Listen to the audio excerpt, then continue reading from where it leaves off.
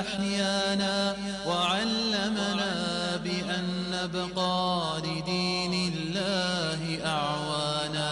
تجمعنا بنور هداه إخوانا وخلانا وأترعنا متى ضمئات بنا الأرواح إيمانا. رسول الله ربنا وبالإسلام أحيانا وعلمنا بأن نبقى لدين الله أعوانا. تجمعنا بنور هداه إخوانا وخلانا وأترعنا متى ضمئات بنا الأرواح إيمانا. نهلنا منه شرعتنا وأعلينا به الشانا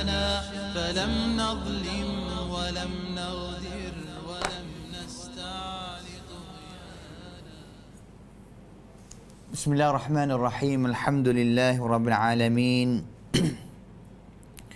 وبه نستعين ولا حول ولا قوة إلا بالله العلي العظيم الحمد لله الذي من على من يشاء من عباده بطلب العلم الشرعي وذلك فضل الله يؤتيه من يشاء والله ذو الفضل العظيم وصلى الله وسلم على القائل من يرد الله به خيرا يفقه في الدين وعلى آله وصحبه ومن تبعهم بإحسان إلى يوم الدين. أما بعد قال الله تعالى أعوذ بالله من الشيطان الرجيم.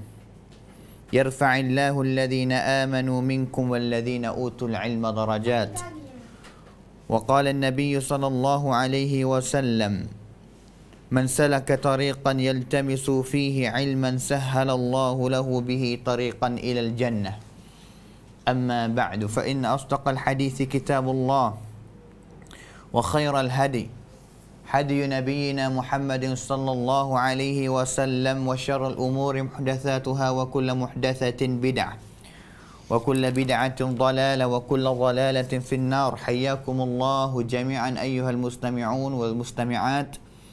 وطبطم وطاب سعيكم ومنشاكم وتبوأتم من الجنة منزلا. وأسأل الله الكريم الذي جمعنا في هذا الوقت المبارك أن يجمعنا في الآخرة مع سيد الدعاء وإمام النبيين في جنته ودار مقامته إنه ولي ذلك ومولاه. Assalamualaikum warahmatullahi wabarakatuh Sedang pendengar yang dirahmati Allah sekalian Alhamdulillah. Sentiasa lagi kita banyak bersyukur kepada Allah Subhanahu Wa Taala dengan taufiknya, hidayahnya dapat kita bersama lagi dalam dalam ruangnya untuk kita nak mengenali akan jenis-jenis hadis Nabi sallallahu alaihi wasallam. Untuk kita nak kenal hadis Nabi, apakah nama dia yang diletakkan oleh ulama-ulama hadis? Mudah-mudahan yang mana kita telah letakkan satu program khas pada bulan ini bulan 3 Minakum ini Pak minggu untuk kita mempelajari akan jenis-jenis hadis Nabi sallallahu alaihi wasallam. Yang mulai pada minggu yang awal yang kita telah membelajar kena akan hadis yang sahih daripada Nabi. Hadis sahih Nabi biasa mana? Syarat dia balas mana? Kita dah kenal, kita dah maklum. Dan juga hadis sahih inilah yang kita patutnya kita ambil pergi amal dengan dia, ambil pergi sebar dengan dia, eh, buat ibadat dengan dia dan juga buat jadi hujjah dengan dia. Sama juga minggu yang kedua, minggu yang minggu lepas, minggu lalu yang kita telah belajar, telah kenal akan hadis hasan. Yang mana perangkat dia tu turun genah sikit daripada hadis sahih. Tetapi kedua-dua hadis ini iaitu hadis sahih dan juga hadis yang hasan adalah hadis yang kita boleh nak mengamalkan dengan dia dan juga boleh nak menyebar dia dan juga nak ambil boleh buat jadi dalil ataupun buat hujah dalam kita beribadat kepada Allah Subhanahu wa taala. Sama ada di dalam bab halal wal haram sama ada dalam bab fadailul a'mal at-targhib wa tarhib kelebihan amalan-amalan kita buat boleh pahala kita uh, kita menjauhi kita boleh pahala kita takut apabila kita buat benda-benda itu. Uh, ini adalah hadis dua jenis yang kita dah kenal pada minggu yang awal minggu yang pertama dan juga minggu yang kedua pada minggu yang lepas Pada minggu ini insya-Allah kita akan terus kenal lagi jenis hadis yang ketiga. Hadis jenis hadis yang ketiga daripada nama-nama yang diletakkan oleh sahabat Nabi dia panggil. Dan nama ini iaitu namanya hadis daif, hadis yang lemah.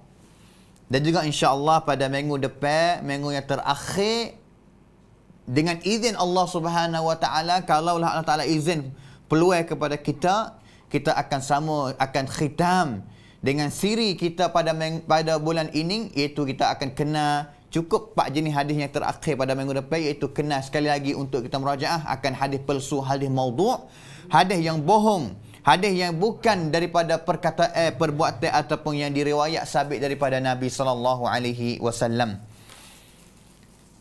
pada minggu ini insya-Allah pada hari ini kita akan kena hadis lemah untuk kita nak kenal sekali lagi mengenai dengan hadis lemah, hadis yang daif.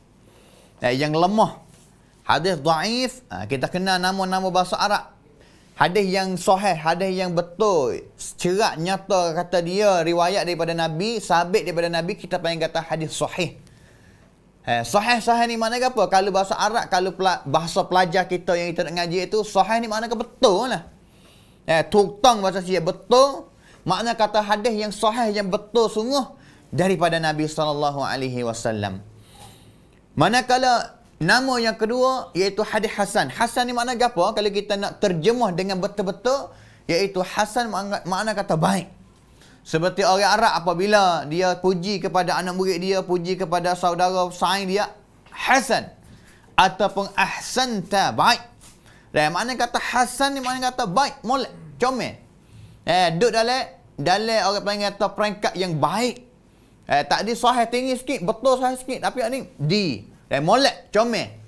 Manakala da'if, gulawai kepada sahih itu, dan iaitu da'if, makna apa? Makna sakit.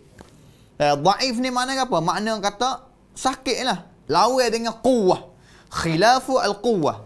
Al-da'if, lemah. Gulawai dia apa? Al-kuwah, kuwah. Eh, gulawai dia kuat. Di sini kita akan kena hadis yang lemah, hadis yang tarak lah mudah kata. Eh, di sisi ulama hadis dia panggil nama hadis jenis ini ni dengan hadis daif, hadis lemah, hadis tarak ni sebab apa? Ya, sebab apa?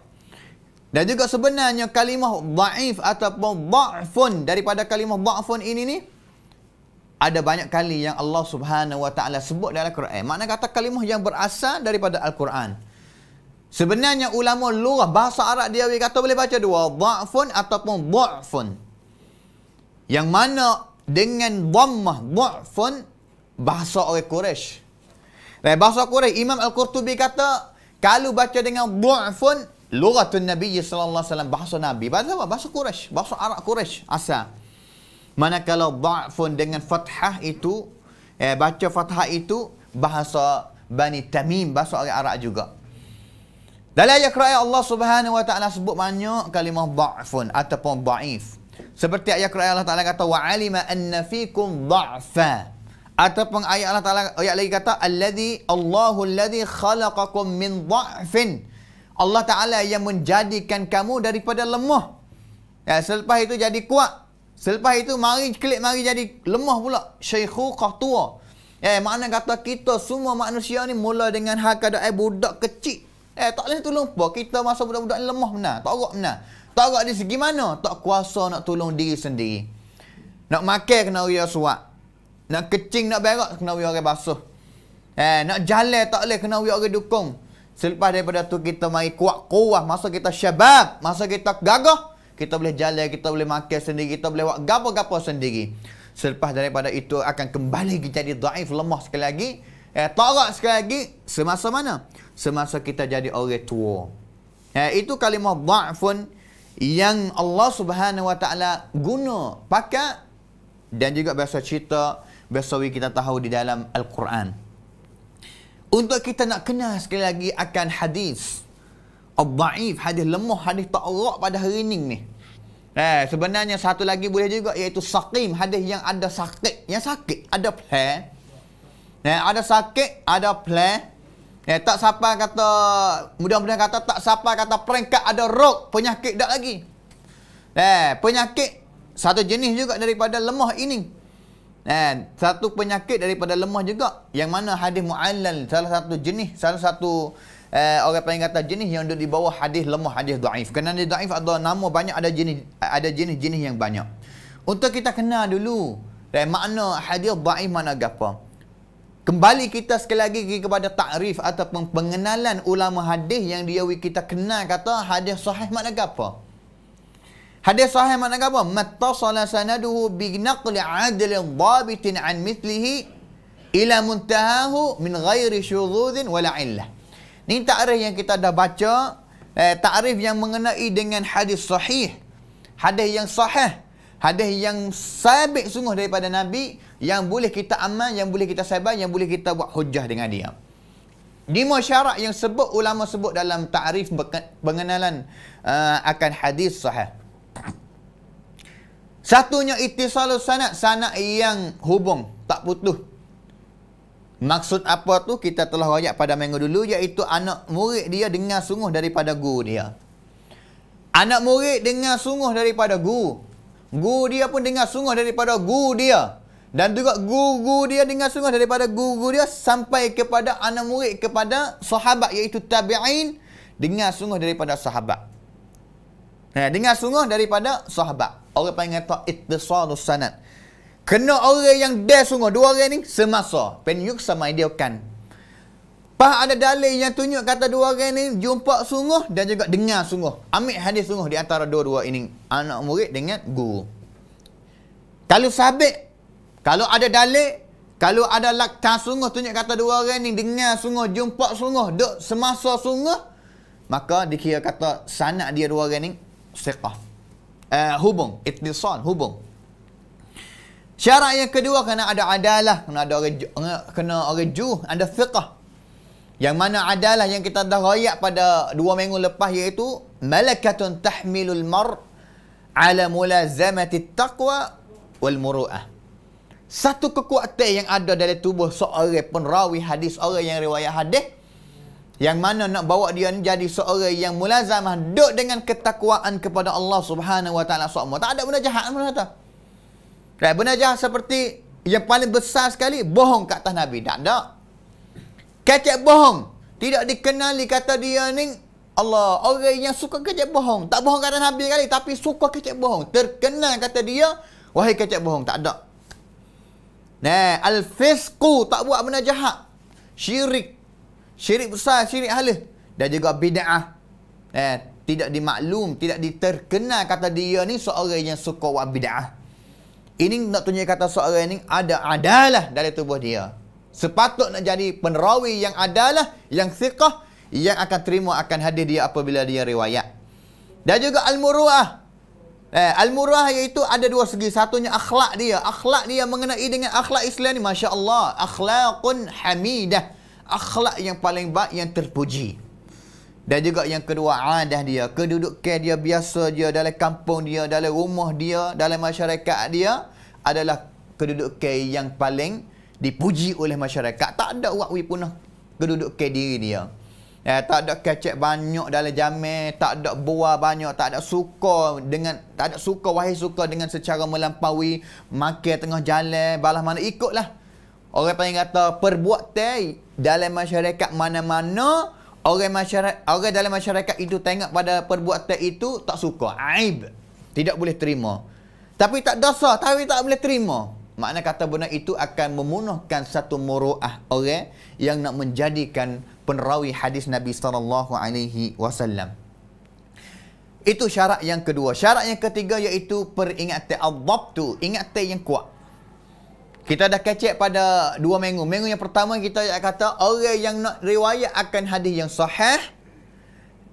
Ingat dia, hafazan dia. Kuamcam dia, ingat kuat.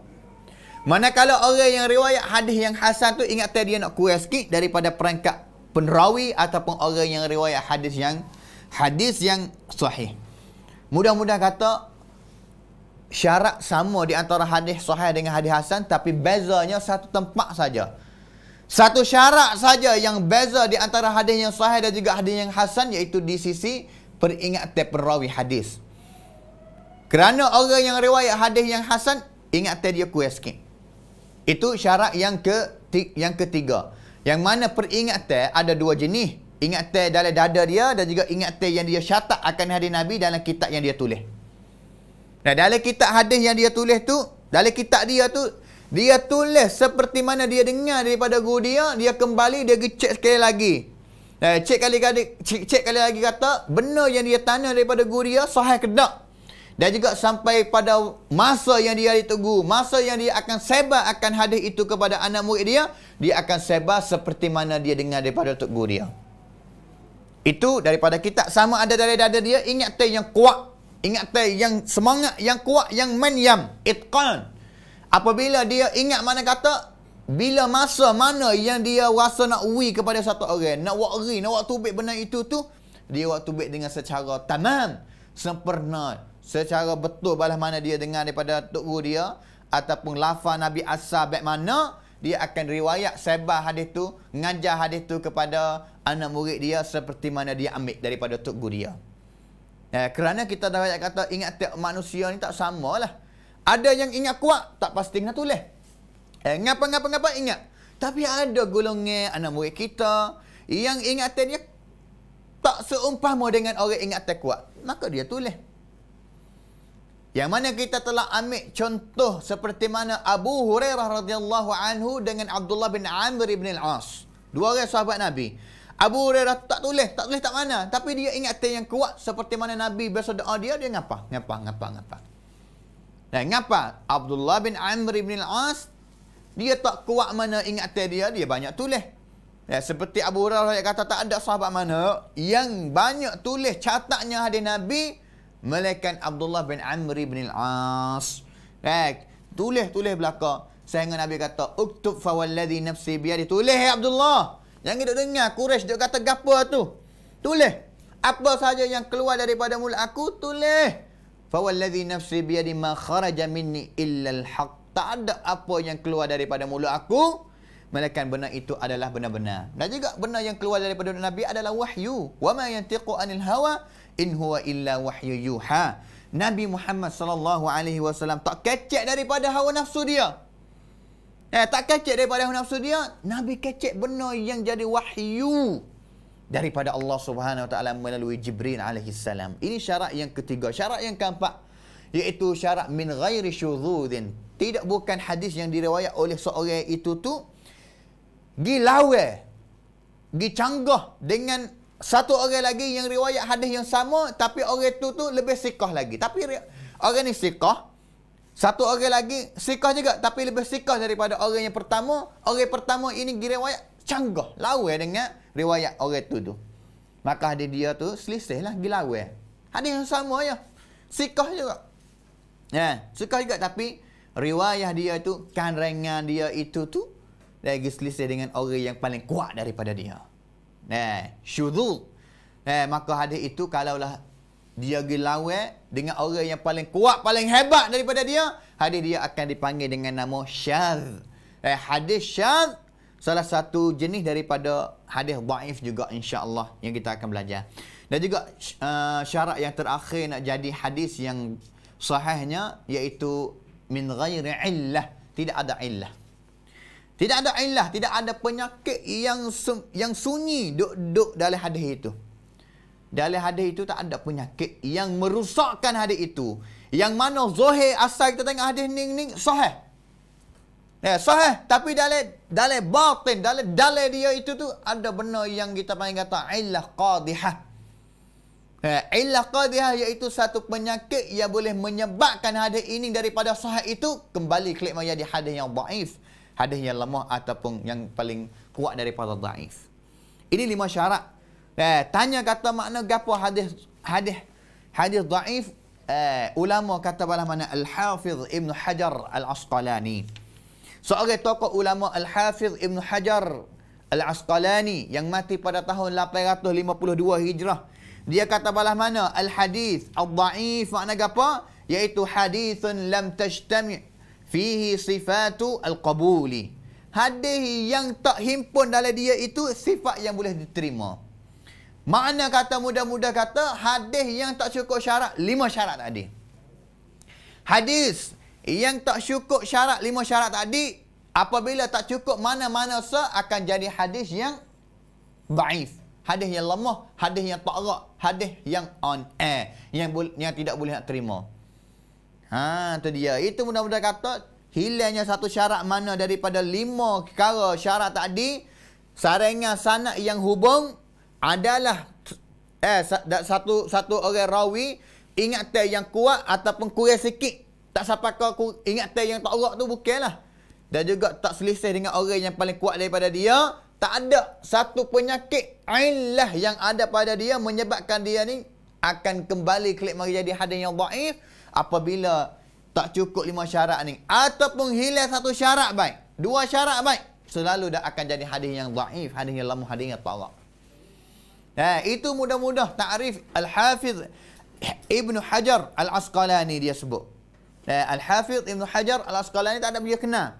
Eh, tak ada dia tak kenal dia. Dia adalah tokoh ulama hadis yang hebat yang dia tu daripada mazhab ulama daripada mazhab al-Imam Asy-Syafi'i juga. Itu lima syarat apabila hilang lima syarat ni akan jadi hadis yang hadis yang yang orang panggil hadis yang lemah. Masalik orang panggil jalan-jalan yang kelemahan kham on air. Dhaif ni akan masuk di dalam hadis tu apa jalan semua? Orang yang kata sahid ataupun pacai. Benar-benar yang akan masuk dalam satu hadis dan juga buat we hadis tu jadi hadis yang dhaif tu ada apa perkara? Nekara semua insya-Allah daripada lima syarat ni. Satunya hadis itu tu sanad putus. Tak hubung. Apabila tak hubung putus sanad itu hadis dhaif Walaupun empat syarat lebih lagi daripada tu tu cukuplah kau empat syarat tapi tak cukup satu syarat saja iaitu sanad tak hubung maka hadis tu akan jadi hadis yang dhaif. Ataupun hadis tu sanad yang hubung tapi yang kedua tak ada adalah. Rawi yang semua dalam hadis tu tak ada serebut adalah dari tubuh rawi itu ataupun salah satu daripada penerawi hadis itu. Ada lima orang dalam sanad boleh ada lima. Kalaulah lima orang ni tak ada siqah. Tak ada adalah langsung. Daif. Kalaulah sore saja. Empat orang siqah. Juruh ada adalah. Tapi sore saja yang tidak ada adalah. Maka hadis itu pun akan jadi hadis daif juga. Adalah. Eh, tak ada orang yang bertakwa. Mulazamah takwa tak ada. Mura'ah tak ada hadis itu akan akan punah. Yang ketiga, kalaulah sanad dia hubung, kalaulah adalah setiap rawi lima orang dalam sanad itu ada belaka lima orang siqah. Adalah ada belaka juruh belaka.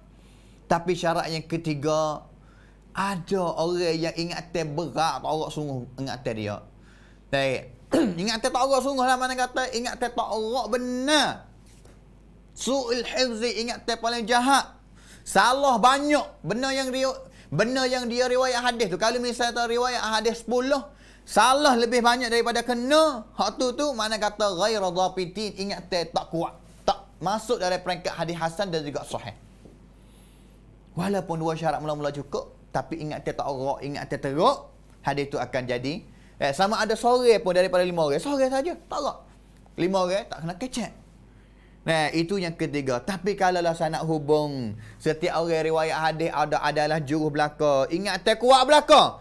Tapi betul lah hadis tu tu selisih dengan hadis yang lebih kuat daripada dia. Orang riwayat tu dalam sanad lima orang ini kuat eh kuat taran ni. Tapi satu sanad lagi lebih kuat daripada sanad ni. Maka hadis ni jatuh jadi dhaif. Jalan ni sahih. Eh jalan ni sahih. Ataupun yang keempat eh, ataupun yang kelima. Eh, ada dalam mata baik. Eh, dalam mata dalam isi hadis baik. Ataupun dalam sanad baik. Orang paling kata roh illah qadihah. Satu penyakit yang boleh menyebabkan hadis ini ni yang zahir kita tanya kata sahih tapi gi jumpa gi wini cai gi x-ray oleh ulama hadis sebagai sebagai bomo dalam bidang hadis gi jumpa cerok roh yang berat ini maka ulama hadis itu akan hukum hadis ini daripada sehat jadi hadis yang sakit, hadis yang tak Kerana apa? Kerana ada illah qadhiha, ada penyakit yang dunusuk dalam. Hak ni ni tak ada. Orang biasa tak tak tak boleh nak sampai benda ini. Eh, tak siapa, tak jumpa. Seperti penyakit yang ada dalam tubuh kita. Kita raya semua. Kata penyakit yang ada dalam tubuh kita, kadang-kadang anak kita, suami kita, orang dalam keluarga kita tengok tak nampak. Penyakit yang ada dalam tubuh kita. Tetapi cuba kita pergi cari bomo, cuba pergi isteri, cuba pergi bomo peksa, bomo kata, awak ni jadi penyakit sekian, sekian, sekian, sekian, sekian. Bomo jumpa. Kerana bomo dia adalah bidan dia. Sama juga dengan hadis Nabi SAW. Penyakit yang adanya dalam hadis, tak ada siapa yang boleh nak sampai ataupun jumpa penyakit yang ada itu melainkan bomo di bidang hadis iaitu ulama hadis al-muhaddithin. Ulama hadis saja. Dan juga yang kelima, apabila cukup dah syarat sanad hubung adalah juru belaka, ingat tak kuat belaka, tak ada selisih dengan orang, tak ada penyakit yang boleh menyeb- uh, nak boleh mendhaifkan hadis itu, tetapi yang keaneh tak ada. nah, dhaif hadis tu daif tapi tak ada jalan lain mari nak tolong dia. Tak ada jalan lain nak mari nak tolong dia ni nak angkat derajat dia ni jadi hadis yang sahih. Eh, orang panggil kata tak ada jalan lain nak mari senap sanun dia jadi hadis. Eh, naik peringkat jadi hadis yang hasan eh, li ghairihi ataupun sebagainya. Tetapi dengan kesimpulan Ibn Hajar Al-Asqalani ulama hadis yang paling belakang sekali, Sebenarnya ulama belum daripada Ibn Hajar Al-Asqalani kecil banyak. Ibn Salah, Imam Nawawi. Dan siapa lagi? Banyak ramai-ramai ulama. As-Suyuti, banyak. Tapi Ibn Hajar Al-Asqalani eh, sebagai khotel kepada Amirul Mukminin eh, di segi bidang hadis dia. Tak ada ilmu hadis mana yang kecil sakut dengan sakut pau dengan gapo Ibn Hajar tulis belakang kitab. Syarah hadis tulis Fathul Bari. Eh, tulis Fathul Bari ataupun Al-Jarh wa Ta'dil kecek mengenai dengan rawi yang rawi yang baik, rawi yang ada adalah, rawi yang sakit, rawi yang daif, tulis kitab. Eh, Tahzibut Tahzib, kitab Taqribut Tahzib, Mizanul I'tidal, banyak kitab Ibn Hajar Al-Asqalani tulis, banyak. Eh, kita hadir dia banyaklah kalau kita nak sebut. Tapi dengan kesimpulannya sebab-sebab jalan yang boleh mendaifkan wakwi hadis satu hadis Nabi dan satu hadis wiyadi hadis yang lemah, hadis yang tarak, hadis yang sakit dua saja. Dua sebab mari kumpulan, mari buat kesimpulan Ibn Hajar. Buat kesimpulan jadi dua sebab saja. Allah akbar. Terima kasih kepada Ibn Hajar Al-Asqalani. Kalau kita baca sosok-sosok ada banyak sebab. Tapi Ibn Hajar dia kumpul mari jadi dua sebab saja. Dan tunhid sebab yang wakwi satu hadis boleh jadi hadis yang daif dua sebab besar-besar. Satunya as-saqtu firraw fis sanad. Dalam sanad tu ada jatuh dalam sanad. Sanad ni mana gapo sedang pendengar yang dirahmati Allah sekalian. Kita royak kena ulas semua, ulas semua. Ilmu ni bahasa dia lah kena ulas semua. Kecak sekali, dengar sekali, ingat lama-lama lupa. Tapi kita ada ulas semua, ulas semua, ulas semua, kita akan ingat insya-Allah. Nah, supaya Quran gitu, eh, Fatihah. Kalau lah kita tak ulas semua, tak dengar semua, tak baca semua, kita tak ingat juga. Tapi hari ni sebab apa kita boleh kita boleh dok baca dia dengan dengan tak lupa-lupa, tak ada mana lah tu email dok baca dia tu email lupa Fatihah ni. Ya, mereka ngatuk pening sungguh lah mari tak ingat lupa surah Fatihah ni. Ya, tapi nak banyak kata surah Fatihah apa? Ulas semua, kita ulas semua siapa ke ingat dalam otak kita, dalam dada kita. Ya, dan juga sampai kiamat insya-Allah kalau kita pandai pandang suratul Fatihah. Dengan sebab itu orang yang ajar budak mana-mana ingat surah Fatihah ni Allah, pahala dia kan cari dia sangat besar. Buat apa? Eh, budak yang dia ingat surah Fatihah daripada dia, berapa tahun yang dia akan baca baca surah Fatihah selepas daripada dia baca. Kalau siapa mati ni belum tahun, ni belum tahun baca surah Fatihah, pahala jalan hak pahala jalan hak Eh, pahala jalan hak Hadis sedang pendengar ingat baik-baik. Hadis ni ada dua bahagian. Eh, hadis ada dua bahagian iaitu bahagian yang pertama iaitu bahagian yang panggil kata as-sanad. Bahagian yang kedua orang panggil kata al-matan, mata hadis isi hadis. Tak hadis saya panggil. Sanad ke apa? Sanad ni orang riwayat hadis lah. Mulai dengan Al-Imam Al-Bukhari. Imam Bukhari kata, aku dengar hadis ni daripada Tok Guru aku. Tok Guru aku dengar daripada Tok Guru, Tok Guru, sore ni. Eh, Tok Guru, Tok Guru, sore ni. Misalnya kata Al-Imam Al-Bukhari dengar daripada Al-Humaidi, Abdullah bin Zubair Al-Humaidi. Al-Humaidi dengar daripada Muhammad bin Ibrahim, Muhammad Ibrahim dengar daripada Pia. Seorang ni Yahya bin Sa'id Al-Ansari, Yahya bin Sa'id Al-Ansari dengar seorang-seorang ni. Sampai kepada sahabat Nabi, sahabat kata, Qala Rasulullah, Nabi kata, ataupun sami'tu Rasulullah SAW yakulu, semua ni ni Eh, dengar daripada suara ni, dengar daripada suara ni, orang panggil kata sanad. Sanad. Kelebihan sanad kita akan kecek semula lah. Basuk di mana Nabi? Nabi kata, Qala Rasulullah. Nabi kata, Innamal a'malu bin niyat wa innama likulli imri'in ma nawa faman kanat hijratuhu ila Allah wa rasulih fahijratuhu ila Allah wa rasulih. Isi ini orang panggil kata al-matan isi isi perkataan Nabi, perbuatan Nabi ataupun benda-benda apa saja yang sakut dengan Nabi. Nah, yang sakut dengan Nabi. As-saktu fis fil sanad.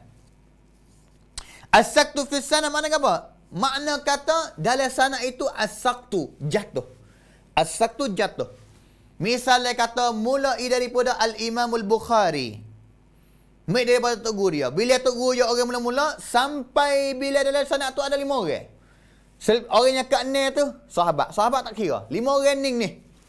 Ya, lima orang ni ni, salah satu tempat bucu mana daripada lima orang ni, jatuh sop. Pring jatuh. Jatuh tengah misalnya. Orang pengen kata, seorang rawi ni ni, jatuh saktun. Putus mana kata, tak dengar sungguh. Nah, tak dengar sungguh. Kenapa? Jatuh lagi. Tapi seorang ni, gi royak kata aku dengar daripada seorang ni. Eh, mana kata orang yang kedua, gi royak kata dengar daripada orang yang kapak. Bahkan orang yang kedua ni tak biasa jumpa, tak ada semasa yang sama, tak ada biasa dengar sungguh daripada orang yang keempat. Jatuh orang ni ni. Sanak dia jatuh. Saktu Firrawi. Ah ni sebab besar mula-mula yang menyebabkan hadis itu akan hadis, jadi hadis yang daif. Sebab besar yang kedua. Sebab yang kedua, sebab besar yang Ibn Hajar Al-Asqalani yang mati pada tahun 852 Hijrah dia kata at-ta'nu fir rawi. Rawi itu tu masalah. Eh, rawi itu kena wican. Apa ni mana kata mi bat ada ada ada paruk. Rawi itu tu ada paruk dia. Sama ada paruk rengek kau turun, kau turun, kau turun, jadi parut yang besar. Play, Roy Play yang besar. Pia orang Roy Play, ulama hadis. Eh, ulama hadis. Orang yang kata ulama al-jarh wa ta'dil. Ulama hadis yang mengkhususkan jadi satu bidang dalam ulama hadis itu orang panggil kata ulama yang wi al-jarh. Al-jarh mana apa? Ulama yang hukum kata rawi seorang ni lemah. Rawi seorang ni ingat tak tak Rawi seorang ni tak sikah. Al-jarhu orang panggil. Al-jarhu mana apa? Play. Eh, orang panggil terbekas-bekas paruk yang lekat dalam tubuh kita kita kena pisah, kena gapo, kena gapo molek tu darah orang panggil kita paruk al-jarhu. Ulama tu ada paruk. Piawi paruk. Ulam bomo yang yang royak kata ada paruk. Sore ni ada paruk. Bomo royak. Pia bomo. Ulama hadis ataupun ulama al-jarh wa ta'dil. Al-ta'dil mana apa? Adalah ulama yang ulama mai kata rawi seorang ning siqah. Rawi seorang ning imam hebat dia, ingat dia mutin, siqah. Jabalul Huffaz, ingat dia Allah seumpama dengan bukit. Tanah kecek ingat dia ni hebat. Orang panggil ulama yang mari hukum kata at-ta'dil adalah dia ni, masya-Allah. Terima boleh. Ya, terima boleh. At-ta'nu berlaku mana? At-ta'nu berlakunya apabila ulama mari hukum dua segi. Satunya hukum segi adalah dia. Ulama hadis mari tengok adalah dia ni dia tak ada adalah, tak siqah. Apa? Kecek bahang. Lebih-lebih lagi apabila dia kecek bohong kepada Nabi sallallahu alaihi wasallam maka hadis yang dia riwayat itu jadi hadis maudhu, hadis palsu. Ataupun seorang lelaki itu tu dikenali kata wahai kecek bohong. Tak bohong kat atas Nabi kali. Tapi wahai kacik bohong. Kacik dengan manusia, kacik dengan seorang ni bohong. Kacik dengan seorang ni bohong. Ittihamu bil kadhib. Hadis dia itu akan jadi hadis matru. Orang yang suka bohong ni, Allah. Yutrak hadis tu. Mana hadis dia ni ditinggal. Orang tak paduh hadis dia ni. Allahu Akbar. Tak paduh. Matruk. Matrukul hadis. Tak boleh riwayat daripada dia. Eh. Dan juga al-fisku wa jahat. Al-bid'ah. Ataupun riwayat itu uh, orang panggil tu rawi itu tu ada rawi play bahasa mana tak kenal orang mai rucak tuan dia tak kenal tuan dia. Seorang ni nama gapo mari daripada mana tak ada maklumat. Mai mi khamun. Eh tak ada maklumat kata dia pada mana. Apabila tak ada maklumat ulama tak boleh nak hukum tak boleh nak royak lah kata. Seorang ni sikah ke tak sikah Dengan sebab itu ulama hadis ni Masya Allah dia jaga dulu apabila ada jahalah. Ada orang mengata majhul tak kena akan satu orang rawi sama ada zat dia, sama ada hal dia, sama ada ain dia. Ulama hadis kata kebanyakan kata tolak dululah kami lagi. Kami lagi. Demi apa? Ihtiyat, demi nak menjagakan hadis Nabi sallallahu alaihi wasallam kerana majhul orang yang kita tak kenal itu boleh jadi orang yang tak siqah boleh jadi orang yang daif apabila jadi orang yang daif kita pergi hukum kata okey boleh terima hadis yang majhul. Maka masalah lah. Eh masalah kita ni buat mudah-mudah nak ambil satu hadis yang ada play dengan sebab majhul tak kenal orang yang riwayat salah satu daripada lima orang itu tu kita pergi riwayat kata tak apalah hukum. Eh, maka susahlah kalaulah orang yang majhul itu adalah orang yang tak siqah ataupun orang yang lemah, orang yang daif. Seolah-olah kata kita pergi ambil hadis lemah ni, pergi bancuk, pergi bubuh dalam bilangan hadis sahih. Bahkan dia tak sahih. Allahu Akbar. Ulama ulama al-jarh wa ta'dil sebagai bomo kepada hadis ilmu hadis pia. Pia ratik. Nah, pia ratik seperti Imam Yahya bin Ma'in yang mati pada tahun 233 Hijrah. Seperti Imam Ali bin Al-Madini mati pada tahun 232 Hijrah. Seperti pia lagi Al-Imam Ahmad bin Hanbal yang mati pada tahun 241 Hijrah. Siapa lagi? Seperti uh, Al-Imam Al-Bukhari sendiri kitab dia Tarikhul Kabir, Tarikh Al-Awsat, Tarikh Al-Saghir. Banyak kitab dia. Eh, yang kecek mengenai dengan jarh wa ta'dil, wi hukum seorang perawi kata boleh sikah kata sikah. Imam Al-Bukhari, eh, Abu Abdullah Muhammad bin Ismail Al-Bukhari mati pada tahun 256 Hijrah. Anak murid dia Al-Imam Muslim. Eh, Muslim bin Hajjat Al-Qushairi An-Naisaburi mati pada tahun 261 Hijrah. Ning fok bomo-bomo ulama hadis, bomo-bomo hadis belaka ni. Eh, bomo-bomo hadis kerana apa? Fok dia ni apa hadis banyak? Duk orang panggil tu Hidup mereka duk sibuk dengan hadis Nabi.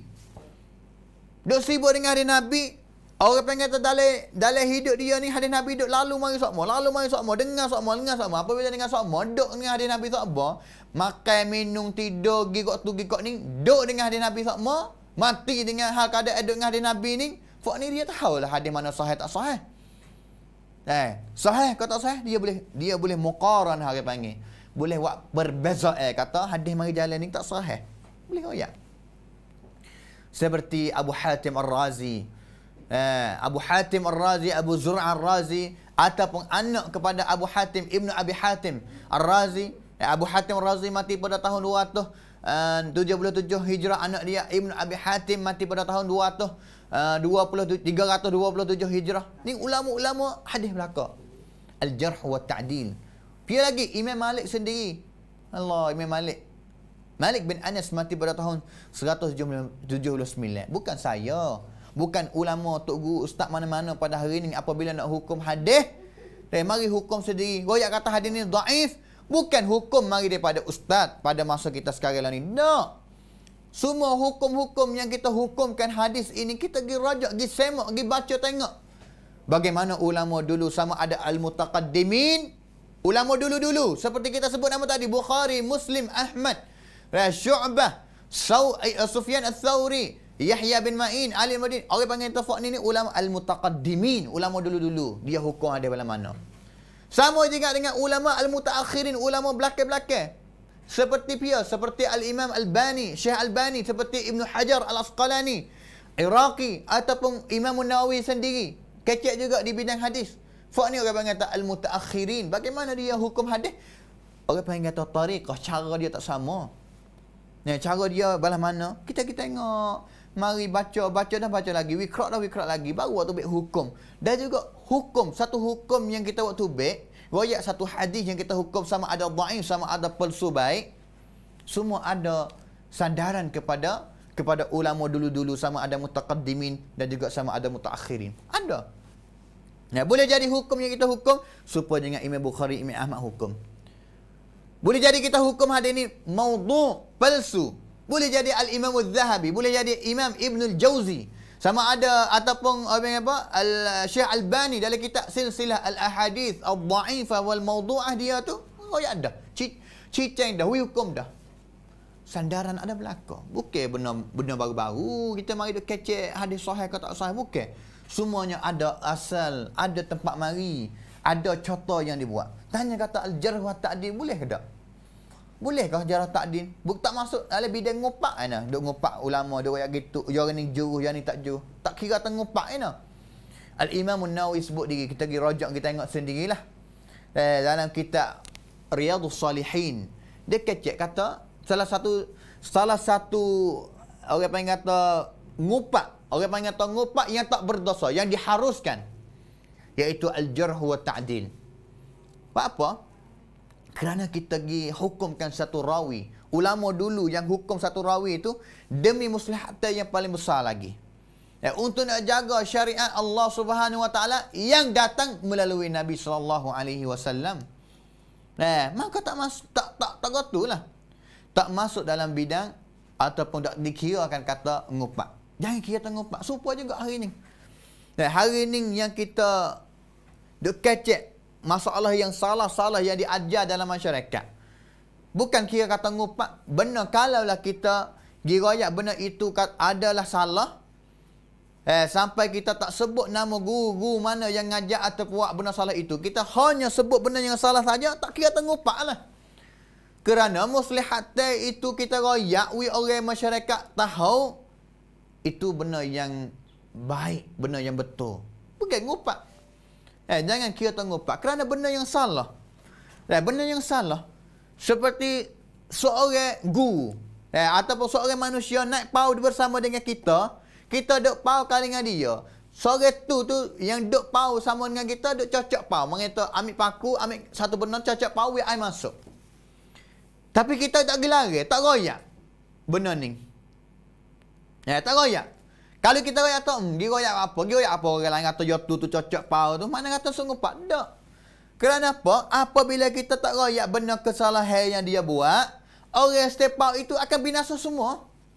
Sama juga dengan masyarakat dalam ajaran Islam. Kalaulah kita tak bakikan benar-benar yang salah yang diajar, yang disebar, yang diamal oleh orang awam dalam masyarakat. Tak sebut nama mama tok guru, nama bapa mana-mana. Kita sebut hanya persalahan. Benar yang diajar dan juga benar itu benar salah. Tidak ada asalnya daripada Nabi dan juga daripada Al-Quran. Tetapi ada benar jadi benar-benar yang baik, benar yang ahdas. Benar yang tadi ada asal cerak nyata, yakin. Orang yang ada setik panjang boleh mikir kata benar ni, ni tak ada asal. Orang yang ada ngaji, tak ada royak. Ya, kena royak kena baki, kena royak witahau kepada awam. Orang awam biasa kata benar ini salah, tak ada.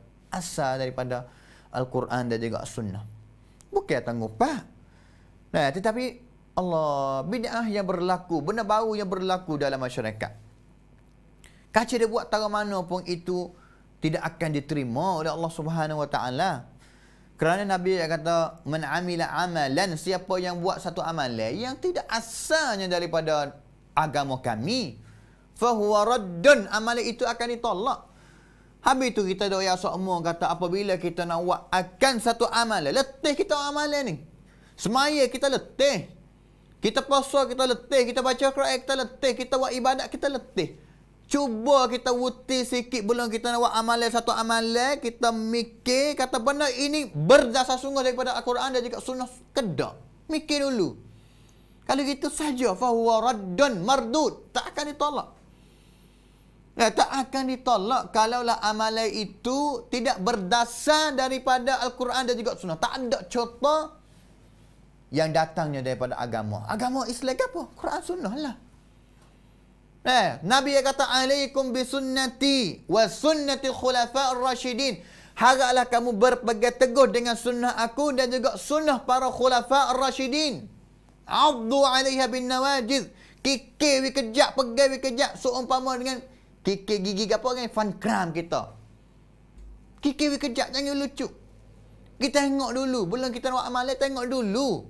Step dia, perangkat dia. Belum kita nak amalan, kita kena tengok dulu. Amalan ni, ada kata yang raya? Ah, tak ada lah Quran. Tengok kepada Nabi pula. Nabi tak ada. Tengok Umar pula. Uh, Abu Bakar pula. Khalifah Rashidin.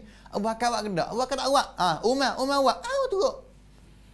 Kerana Umar buat, Nabi tahu Abu Bakar buat, dikatakan sunnah juga kerana Nabi kata, alaikum bisunnati wa sunnati khulafar rasyidin. Pergi. Tak sung Umar nak buat benda-benda baru, benda yang tidak ada asal. Addu alaiha bin nawajid. Ini tak. Kita nak buat satu amalan, tak ada langsung pergi rojok kita tengok kata, eh, Nabi buat kedak, suhai-suh kedak, sahabat buat kedak. Cek dulu. Itu maratib agama kita yang kita nak agak beragama sungguh. Bukan kata kadang kita nak ambil di si fulan seorang ni, si fulan ni. Ataupun nak ambil daripada mimpi, nak ambil daripada jumpa, nak ambil daripada Allah. Macam-macam. Agama adalah qala Allah, qala Rasul. Perkataan Allah dan juga perkataan Nabi SAW. Kita tengok. Hari ini duk ambil lakuh. Tinggal banyak daripada Quran. Tinggal banyak daripada hadis Nabi SAW. Gimik mana? Gimik Allah si fulan manusia seperti kita biasa dah royak benda pelik-pelik. Allah, apa benda, apa benda pelik-pelik itulah yang diterima banyak daripada kalangan orang awam nas. Habis itu ulama jaga baik-baik. Hari ini kita kena ingat kata Allah Subhanahu Wa Taala nak tarik ilmu. Kuasa Allah Taala.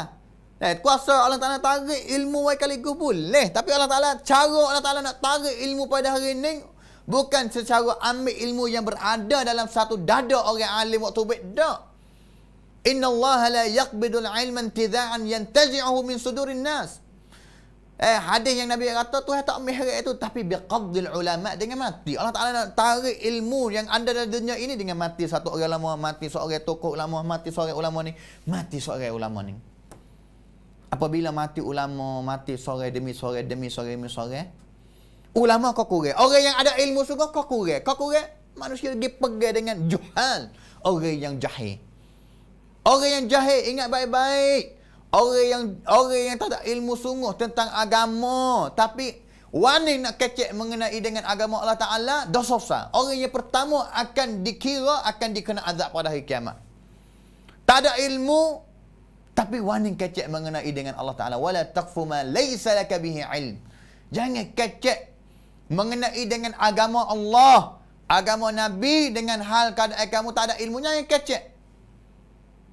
Sebab orang mula-mula sekali sebelum daripada orang yang semuh lagi, semuh puja kepada Tok Kong lagi ni, orang ning lah. Orang yang dipanggil kata diri sebagai ulama tapi kecek tidak berdasar daripada agama, bukan daripada Al-Quran dan juga sunnah. Kecek terhadap Allah dengan cara pelsu-pelsu bohong-bohong, suka-suka main-main, Orang ning lah yang pertama akan dikena azab pada hari kiamat. Waliyatubillah min zalik.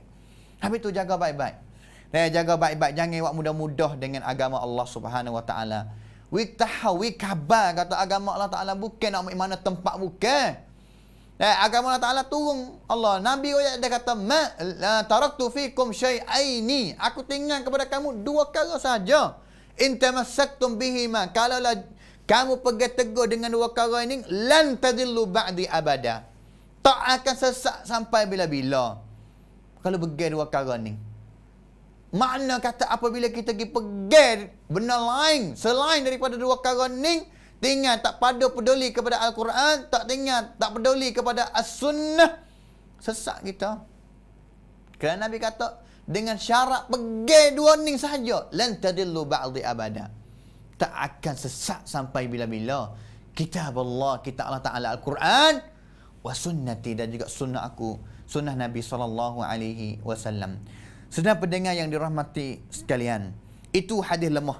Eh, dua sebab susah iaitu apabila sanad jatuh, seorang penerawi jatuh, eh, tak hubung di antara eh, anak murid dengan tok guru, lagi lakoh, eh, maka itu akan jadi hadis yang daif. Dan juga akan ada orang panggil kata paruh right play yang ada dalam satu rawi hadis. Yang mana dalam segi adalah kita yang dah tadi. Dan juga dari segi peringatan pun ulama make bicara juga sini. Eh, kalaulah dia salah dengan Allah. Tak patut salah tapi salah. Fahsyul ghalat. Ataupun kathratul ghaflah. Kathratul ghaflah mana apa? Kathrah banyak. Ghaflah ni ghalib banyak. Ghalib banyak. Eh bukan sedikit dak lah. Benda yang riwayat tu make everything ghalib-ghalib. Make everything tak Orang panggil kata tak sempurna ataupun tak yaqizah, tak bangun mana. Orang panggil kata tak segar mana. Ambil hadis dengar, dengar dengan cara lemah-lemah, ghaflah, balik. Biar sebar hadis pun sebar biasa boleh lepas-lepas. Kathratul kathratul ghaflah. Hadis ini mungkar. Eh, hadis ini mungkar ataupun hadis yang gi canggah, gi lawe dengan athiqat. Gi lawe dengan siqah. Orang siqah riwayat baik ni tapi seorang ni mari tak supa. Riwayat kau tak supa. Riwayat kau tak supa. Riwayat kau tak supa. Kau tak supa. Orang panggil kata mukhalafatu athiqat lawa canggah dengan orang yang sikah lagi. Dan juga eh apa lagi al-waham. Al-waham ni mana kata gapo ni al-waham ni? Eh, riwayat hadis ni salah lebih banyak daripada kena. Dan juga akhir kali su'ul hifzi ingatan yang paling torak sekali. Su'ul hifzi ingatan yang paling torak sekali. Ni ni sebab-sebab yang sakut laka ni dan sama ada di segi Nawawi adalah seorang rawi punah. Dan kata bohong, bohong ke atas Nabi, buat benda jahat, fasik, buat benda bid'ah. Ataupun tubuh dia diri tu tak dikenali oleh ulama hadis. Manakala di segi ingatan dia, Allah, ingatan dia ni galik banyak. Eh, ataupun salah dengan Allah, tak tak patut salah, salah. Benar riwayat yang dia riwayat itu kesalahan benda yang salah hadis yang dia riwayat salah itu lebih banyak daripada hadis yang yang betul. Ataupun dia riwayat canggah dengan orang yang lebih kuat daripada dia ataupun ingat dia tak erak ingat dia tak erak eh ingat dia tak erak ini di segi at-ta'nu firrawi di segi sanad apabila sanad putus ni dua bab. Ya dua bab satunya zahir dengan apa mata tengok. Tengok dengan mata. Eh walaupun seorang Pelajar yang ngaji hadis bukan dia ulama, dia ngaji hadis, dia ada lah asas hadis. Eh, ada asas hadis, tengok hadis ni, eh hadis ni ni zahir cerak kata putus. Jatuhnya satu pun rawi, jatuhnya dua rawi, jatuhnya dua tiga empat orang ataupun lebih banyak daripada tu, maka sanad dia putus. Sanad putus dhaif. Zahir. Dan zahir-zahir ni banyak jenis dia seperti hadis muallaq Hadis mu'allak ni seperti mana Allah? Hadis mu'allak ni banyak banyak bab. Seperti Imam Bukhari sendiri pun eh, hadis mu'allak dalam kitab sahih dia pun banyak juga. Seperti Imam Bukhari duduk dia dia mai ahlu dia kata qala Rasulullah Nabi sebut. Pasal nak di mana? Bukhari dengar daripada mana? Ataupun Imam Bukhari kata qala Abu Hurairah qala Rasulullah. Abu Hurairah kata, Abu Hurairah cerita Abu Hurairah cerita kepada kita eh Abu Hurairah cerita kepada kita Kata Nabi SAW kata sekian, sekian, sekian, sekian. Sanak belum Abu Hurairah piyah nama Imam Hurairah? Tak ada. Imam Bukhari kerak habis. Ha, ni rupa-rupa orang panggil. Kalau asal dia pesening ni, kalau sanak hilang pesening ni, ulama hukum tanti selalu dah kata, Baif, tak sahih. Tapi dalam sahih Bukhari ni, ni dia ada hukum khas yang ulamawi. Dan hukum khas yang ulamawi kerana Imam Bukhari dia satu hadis kadang-kadang dia ulang banyak dalam kitab dia. Satu tempat dia sini, satu kali mari bos sini pula. Dia tak save kitab dia panjang, dia kat sana. Kerana apa? Hadis satu hadis ada dah yang dia hubung sana pada serpen. Okey. Pasal itulah. Nah, dalam kitab Sahih Bukhari hadis muallaq. Jenis pasal zahir apa cerita ataupun mursal. Mursal ni pasal mana hadis mursal? Nah, Imam Bukhari goyak tunggu dia, tunggu dia, tunggu dia sampai kepada tabi'in. Tabi'in lakoh tak sebut nama sahabat. Pure. Dia dengar daripada pure daripada sahabat. Tak sebut nama sahabat. Ya, seperti Sa'id Ibn Musayyid. Tak ada jumpa dengan Nabi. Tapi Ibn, uh, Sa'id Ibn Musayyid. Oh, yang selalu dia kata. Qala Rasulullah. Nabi sebda. Apa? Tak ada jumpa dengan. Ya, tak ada jumpa dengan Nabi. Tapi pergi royak selalu dia kata Nabi royak. Bahkan kena royak lah kata Sa'id Ibn Musayyid dengar daripada pure daripada sahabat. Kerana tabi'in dia jumpa dengan sahabat. Dan juga sahabat tu dengar daripada Nabi sekali lagi. Tapi mari lakah orang panggil itu mursal. Eh, mursal. Ataupun mursal sahabi. Bagaimana mursal sahabi? Mursal sahabi ni siapa kepada orang panggil itu Aisyah. Misalnya Aisyah. Aisyah. Giriwayat hadis sakut dengan bad'ul wahyi. Kecik mendengar, mengenai dengan awal-awal turun wahyu kepada Nabi balas mana? Eh, seperti ngigau ru'yah as-salihah. Dan ngiga Bahkan Aisyah kau tu tak warna lagi Tapi dia cerita hadis tu Orang panggil tu mursal sahabi Eh, ulama kata mursal sahabi tak apalah. Tak nak kecek kerana sahabat ni boleh hadis Aisyah dengar daripada sahabat seorang lagi. Apabila dengar dengar daripada sahabat seorang lagi, kullu sahabi udul. Setiap orang sahabat ni cerak adalah juh sikah belaka dipercayai belaka. Tak boleh kita nak kata sahabat bohong, kecek bohong, tak ada. Dan habis tu kita kata sampai kepada sahabat ni. eh, sampai kepada sahabat tak kena cek dah kata. Tak kena cek dah kata. Eh, sikah tak sikah kerana sahabat maklum, cerak, makruf kata dia adalah orang yang adalah. Eh, adalah. Mu'dal, eh, mu'dal orang panggil atas sanat lima orang ni, tiga orang tengah jujuk hilang. Eh, tiga orang, dua orang, dua orang ataupun tiga orang jujuk hilang. Orang panggil tu mu'dal. Eh, dan juga mungkatak di mana-mana tempat yang putus, panggil kata hadis itu tu putusnya sanat. Mungkatak. Mana kata sanat putus. Eh, sanat putus. Itu jenis-jenis hadis yang yang baik banyaklah. Eh, di antara hadis kita kita dengar cuba dengan nama eh, hadis mu'allaq tadi, hadis mursal, hadis mu'dal, hadis munqati'. Dan juga hadis mudallas, hadis hadis yang tadlis. Tadlis ni biasa mana? Allahu akbar. Tadlis ni orang kata waktu su orang yang tak orang. Orang yang riwayat hadis ni dia tahu dah kata le sanad ni ada seorang penerawi yang lemah, yang daif. Misalnya dia ambil daripada tugu dia, tugu sikah. Tugu dia daripada tugu dia, tugu-tugu dia tu lemah. Dan juga tugu-tugu dia tu lepas daripada tu tu sikah. Mana kata di antara dua orang sikah ni ada orang lemah. Orang ni ni keleng menjatuhkan orang yang lemah itu dan juga dia siap ada kata dua orang ni ni sikah-sikah dan tengah orang yang lemah ni eh sikah dua orang ni dia jumpa dah. Biasa jumpa biasa dah. Dia keleng ngajar kata wak jatuh sana ini untuk orang nampak kata hadis itu sahih. Eh orang panggil kata amprang. Orang panggil kata waktu su benar-benar yang buruk dalam sanad hadis. Dalam sana hadis ada benda yang buruk yang menyebabkan hadis dhaif lemah ni, tapi dia nak hadis dia ni sahih. Waktu baik. Eh, waktu baik rawi-rawi yang tak rak waktu baik. Eh, nak hadis dia sahih. Ada. Eh, hak tu orang panggil mudallis ataupun mursal al-khafi. Eh, mursal al-khafi. Hak tu eh, jenis-jenis mudah-mudahan mudah-mudahan syarat dia tu tu. Eh, syarat ataupun takrif apabila hilangnya syarat. Eh, hilang syarat sahih. Syarat hasan. Syarat yang diterima oleh ulama lima kara itu apabila hilangnya hilangnya satu, dhaif selalu dah, lemah selalu dah. Eh, akhir sekali insya-Allah pada hari ini kita mari tanya kata balas mana hukum kita nak buat hujjah dengan hadis yang dhaif. Kita nak buat hujjah dengan hadis yang dhaif ni balas mana? Ulama dia kata balas mana? Satu buah kitab yang saya yang saya yang saya sangat pegang teguh dengan dia iaitu kitab ini yang namanya kitab Al-Hadithul Dhaif wa hukmul ihtijaj bihi hadis dhaif hadis yang lemah ni ni eh hadis yang tak hadis yang sakit ini dan juga hukum dia hukum kita nak buat hujah dengan dia boleh ke tak balas mana salah satu buah kitab yang dituliskan oleh seorang ulama di Saudi Arab Saudi iaitu Ustaz Dr. Abdul Karim bin Abdullah Al-Khudair dia sebagai ulama lujnah kibar ulama di Saudi lah sebenarnya kitab ini adalah risalah eh, salah satu tesis ataupun risalah yang dia tulis semasa ngaji master dia. Eh, ngaji master dia di uh, tak silap tu di di Jamiatul Al-Imam Muhammad bin Saud Al-Islamiyah di Riyadh di Saudi, kota ibu kota di Saudi. Eh, Riyadh ni ibu kota kepada negeri Saudi, dia tulis kitab.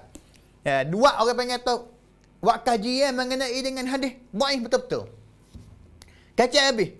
Nah, sampai tiga apa apa muka ni lebih kurang 380 muka. Eh, hampir-hampir 40 muka. Kecek mengenai dengan hadis dhaif saja.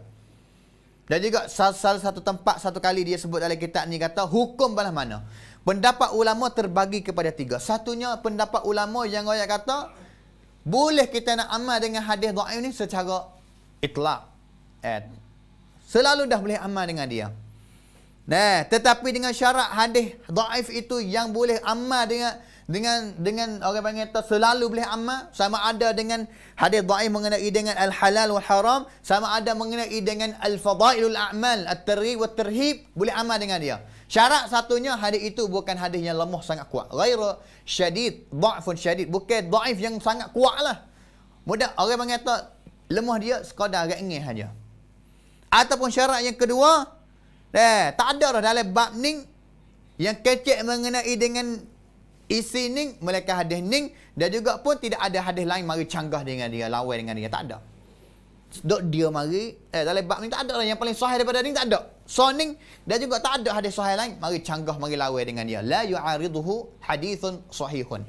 Ini yang pertama pendapat. Pendapat yang kedua ya pendapat yang kedua iaitu la ya'mal bihi mutlaqan. Tak boleh amal dengan dia Gana-gana tak boleh amal. Tak ada kata gana-gana boleh amal. Gana-gana boleh amal. Hak yang dua, gana-gana tak boleh amal. Eh, gana-gana tak boleh amal dengan dia. Hak ni pen, pendapat ulama-ulama hadis yang besar seperti Ibn Ma'in, seperti Al-Bukhari, Imam Muslim, Abu Hatim Ar-Razi, Abu Zur'ah Ar-Razi dan juga ulama seperti mereka ini, eh, goyak kata tak boleh amal dengan dia. Eh, tak boleh amal dengan dia. Dan juga pendapat yang terakhir, pendapat jumhur ulama, sepakat ulama, ramai-ramai ulama, eh, dia kata balah mana? Boleh kita amal dengan hadis yang sebut mengenai dengan kelebihan amalan saja. At-targhib wa tarhib ataupun fadailul amal tapi tak boleh kita nak amal dengan hadis daif yang sebut mengenai dengan hukum halal dan haram. Eh, hukum halal dan juga haram tak boleh. Tapi fadailul amal boleh tapi dengan syarat juga. Eh, dengan tafsir dengan syarat seperti Al-Hafiz Ibn Hajar Al-Asqalani Eh, Asy-Syafi'i sendiri ulama yang kita sebut sama, dia isyarat kata satunya hadis daif ini bukan hadis yang sangat daif sangat lemah, bukan ghair syadid, bukan syadid. Yang kedua, syaratnya apabila kita nak amal dengan hadis yang daif mengenai dengan kelebihan amalan ini, syarat kita tak boleh nak i'tiqad kata dia adalah daripada nabi. Amal saja. Amal sekadar kata mudah-mudahan kita akan dapat ganjaran pahala daripada Allah Ta'ala. Tapi kita nak iktikad kata dia daripada Nabi ni tak boleh. Ibn Hajar kata. Dan juga syarat yang ketiga, tak ada hadis lain mari canggah, mari lawai dengan dia. Hadis yang sahih lah, mari canggah dengan dia. Kalau canggah dengan dia, lawai dengan dia, tak boleh. Dan juga yang keempat, asalnya dalam bab tu tu, hadis lemah ni misalnya mereka cek dengan haning. Ya, mereka cek dengan haning. Tapi hadis ni daif. Kita nak amal dengan hadis ni juga, kita kita tengok asal dia ni hadis sahih lain ada sebut juga. Ada sebut ke tak mengenai dengan bab ni? Kalau ada asal aslun amun yang kecek mengenai dengan ha, bab ni juga, mari senap senun dah tak apalah. Eh, ada tonto, ada timat-tipat asal hadis sahih tu ada sebut dah. Eh, tapi kita mari jumpa hadis ni fadailul amal adalah hadis yang dhaif boleh kita amal dengan syarat yang kita sebut tadi. Pendapat yang ketiga ini yang diterjemahkan oleh al-Imam Al-Hafidh Ibn Hajar Al-Asqalani eh, dalam kitab-kitab yang banyak dia yang sebut inilah eh, mengenai dengan hadis yang daif untuk kita kenali pada uh, peringkat awal-awal ini kita kenal sekadar dulu. Apa hadis tu sebab apa? Eh, sebab tak cukup hilang lima syarat tu dia hadis duduk di mana? Duduk di hadis sahih. Apabila hilangnya syarat satu syarat hilangnya eh, kejadian satu hadis yang nak boleh jadi hadis yang daif ataupun hadis, uh, nak jadi hadis yang sahih ataupun hadis yang hasan yang boleh diterima yang boleh dibuat hujah boleh amal boleh sebar. Eh, apabila hilang nah hilang syarat tapi jadi jadi ringan lagi. Orang mengata jadi daif jangan ingin lagi boleh amal dengan dia dengan syarat yang diletakkan oleh ulama-ulama yang belakang ini. Itulah kita pada hari ini insyaallah pada minggu depan kita akan kena jenis hadis yang terakhir sebenarnya hadis maudhu ini dia salah satu bahagian daripada hadis daif juga. Eh, tapi kita akan kenal pada minggu depan insya-Allah eh, minggu yang terakhir dengan izin Allah Subhanahu Wa Taala. Eh, maka pada hari ini cukup sekadar ni. Eh, terima kasih semua eh, yang dengar dan juga InsyaAllah kita akan dapat manfaat yang banyak dan mudah-mudahan kita akan kenal lagi hadis dari Nabi. Boleh beza lagi hadis mana boleh amal. Bukan tu kata redeng kecek kata redeng. Eh, sebar kata redeng dengan tak geti dengan jahil hukum dia jangan. Hari ini kita mula nak sebar akan ilmu-ilmu eh, yang bersih sungguh untuk kita nak pegang sungguh dengan ajaran yang datangnya daripada wahyu Quran dan juga wahyu as-sunnah Nabi sallallahu alaihi wasallam. Wa iyyakum lima yuhibbu wa yardah وصلى الله على نبينا محمد وعلى آله وصحبه أجمعين. سبحان ربك رب العزة عما يصفون وسلام على المرسلين والحمد لله رب العالمين. والسلام عليكم ورحمة الله وبركاته. رسول الله ربنا وبالإسلام أحيانا وعلمنا بأن نبقى لدين الله